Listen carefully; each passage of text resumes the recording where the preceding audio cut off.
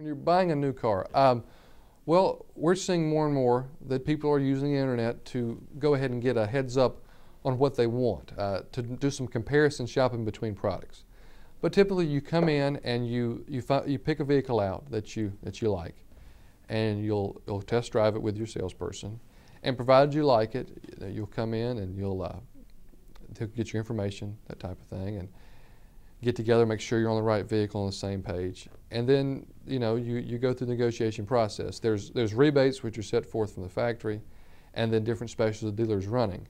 Also, at that point, we'll uh, evaluate your trade-in if if you have a trade-in, and get together a full picture of what it costs, what what your trade difference is going to be, and then work out the the financing, or uh, and taxes and that type of thing.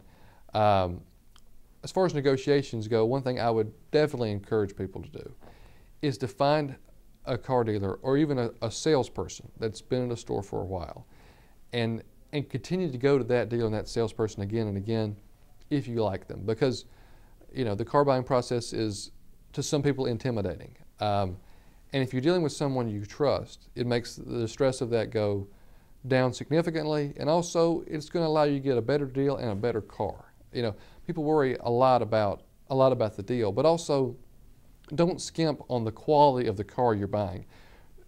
Point of fact is you're buying something that you're going to keep for an extended period of time. And even if you have to pay a little bit more to get a good, good car, it's worth it over time. Um, so I would say deal with people you trust, buy something that, that, you've, that you've researched and thought about and you like, and, and then be, be happy and confident with your decision.